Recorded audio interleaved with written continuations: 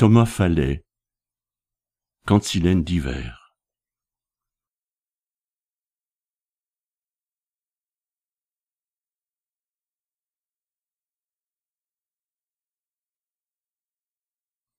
Tantôt s'établiront les tristesses funèbres, où l'horizon blafard par les terres enneigées lourdera d'atonie mon âme en ces ténèbres ainsi qu'un froid chaos pour l'absence érigée.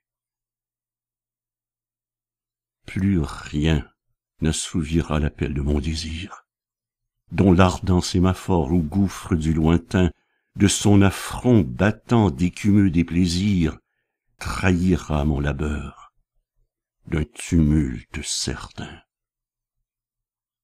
La haine qui me tord de ses bras de colosse est semblable au joyau des tumeurs qui s'oppriment. Et rien, ni le pardon, ni la douceur véloce, ne vaincront le mépris que vos grands yeux m'intiment.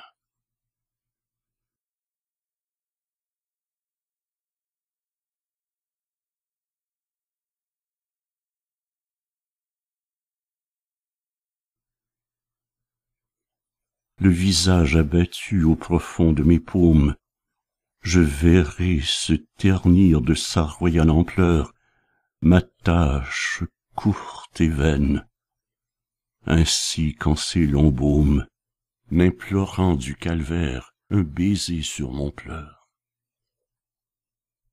Et pourtant si mauvais que soit ce sentiment qui se fard dans l'esprit, guettant son renouveau, ayez la pitié mère et le mot consolant, pour qu'un feu s'illumine et brûle mon cerveau. C'est assez. Contemplez mon cœur que tout condamne, s'enivrer des parfums de sa langueur oisive, et longtemps recueillir en sa détresse insane de votre sein pâmé la chaleur claire et vive.